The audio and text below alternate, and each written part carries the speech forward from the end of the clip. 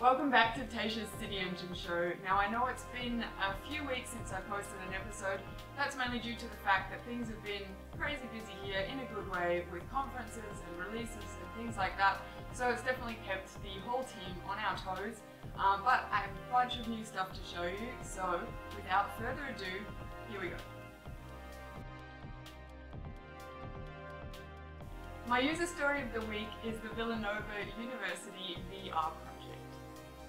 Villanova University's landscape has changed a lot over the years and a potential new change would be to have a bubble over a soccer field uh, so that the team can practice all year round. The university had no way of sharing with anxious neighbours how a bubble like this uh, would impact the landscape and so the students took this on and made it their project. Using current and historic aerial imagery, available CAD data, SketchUp and ArcGIS Pro and City Engine, they created a model of what this section of campus looked like in 1937 and then today. And they also made a model of what the campus would look like with the bubble. Remember, if you have your own user story that you'd like featured in a future episode, then just send me an email.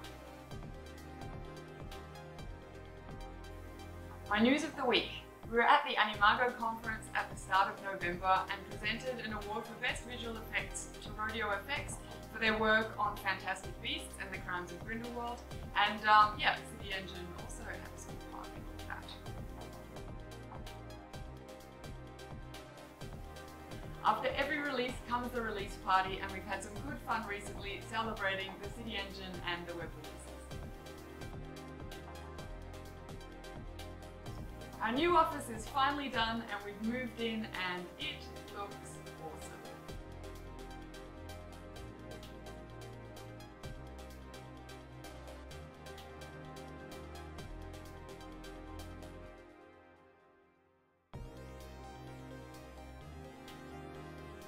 My rule of the week is the asset previewer. We've written a handy little asset previewer rule, which you can use on any of your assets to change things like spacing, or you can even filter by file type. You can get this rule from GeoNet, and we hope you have as much fun playing around with it as we did making it.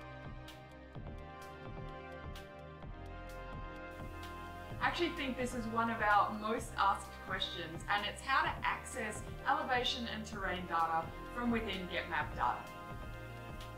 Now, in order for this to work, you need to sign up for an ArcGIS organizational account.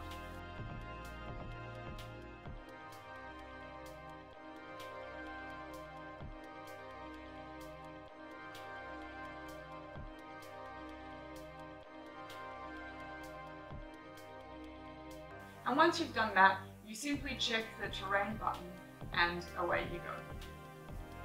If you'd like me to answer your questions in a future episode, then just use the hashtag CityEngineers or post your questions on GeoNet. So thank you for joining me today again on Taisha's City Engine Show. You can find the links to everything that I talked about today in the description box below. And yeah, don't forget, if you want to send me in a t-shirt to wear uh, in a future episode, then you can do so by mailing it to this address. Um, so on that note, Thank you, Daniel, um, for, I, I, think, thank you, Daniel, for this Nicolas Cage t-shirt, um, which I am obviously very comfortable wearing. Thanks for joining me. See you next time. Bye.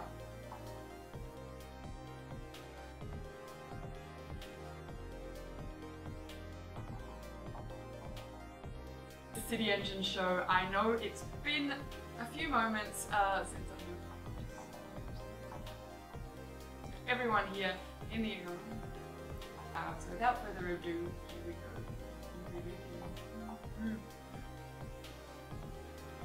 The landscape, then just We've written a handy little asset preview rule which